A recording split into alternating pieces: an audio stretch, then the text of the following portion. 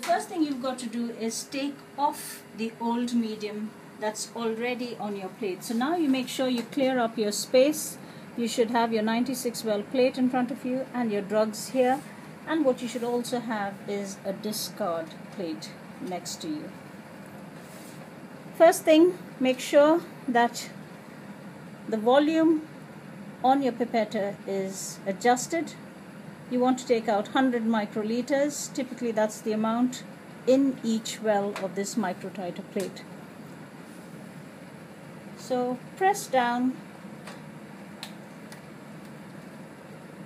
making sure all the tips are in. And be careful make sure that you check that all the tips are in tight. Don't touch this end. Be careful by adjusting it only at this end. Now take the lid off, bring your discard plate close and take off the medium very carefully and chuck it in the discard plate. Do the same for column A column B and column C. You need to be careful with your pipetting here because you don't want to touch the tip right to the bottom. Just put it on the edge of the well. This is a flat bottomed 96 well plate. So if you try and hold it to the edge of the well, that should be fine.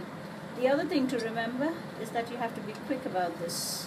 Okay, once you've taken the medium off, replace the lid and keep this multi-channel pipette aside and now transfer to an ordinary Gilson pipette adjust the volume to 100 microliters and now add the various drugs or your control medium into your plates so for example if I start with controls where you're adding medium alone. There's no drug here. So simply take your 100 microliters and keep adding it to each well like so. Okay, so do the same with drug A, making sure that you change the tip, essentially using the ejector, discard the tip and use a fresh tip for each drug. When you're finished,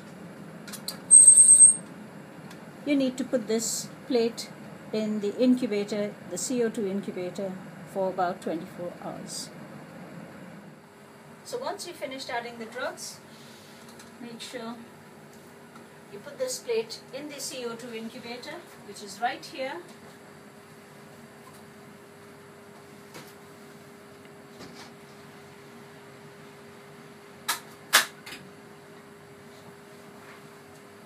and that's you. Done.